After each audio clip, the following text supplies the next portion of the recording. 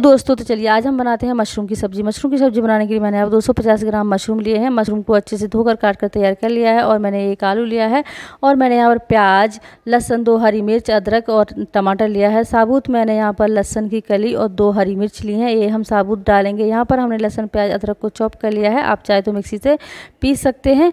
यहाँ पर हम गैस को ऑन कर लेंगे, कुकर को गर्म कर लेंगे। यहाँ पर हमने चार चम्मच सरसों का तेल लिया। तेल अच्छे से गर्म हो गया। उसके बाद हम जीरा डालेंगे, दो तेज़पत्ता डालेंगे, मोटी इलायची डालेंगे और दालचीनी का टुकड़ा डालेंगे, चॉप किया हुआ लहसन, प्याज, अदरक डालेंगे, टमाटर डालेंगे, इन सारी चीज़ों को एक मिनट के लिए भूनेंगे। हम यहाँ पर हरा धनिया डाल देंगे।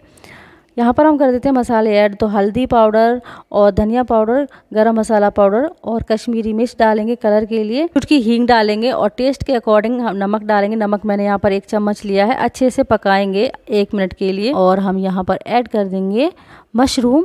मशरूम डालने के बाद, थोड़ी देर पकाने के बाद हम आलू डालेंगे और लहसन की गंठी डालेंगे। अच्छे से धो लेंगे लहसन की गंठी को। थोड़ा सा प्याज डालेंगे, दो हरी मिर्च डालेंगे और सारी चीज़ों को हम तीन से चार मिनट के लिए बिना ढके पकाएँगे, उसके बाद हम थोड़ा सा पानी डाल के आधा कप चार सीटी लगा लेंगे। चार सीटी आने के बाद दोस्तों हम कुकर को खोलेंगे, कुकर को ठंडा करने के बाद खोलेंगे। यहाँ पर हम आलू को मैश कर देंगे। आलू बहुत ही बढ़िया तरीके से पक गया है और आप देख सकते हैं यहाँ पर हमारे मशरूम की सब्ज़ी बहुत ही लाजवाब बनकर तैयार हो गई है। बहुत ही टेस्टी बनी है दोस्तों, आप लोग ज़रूर ट्राई करें।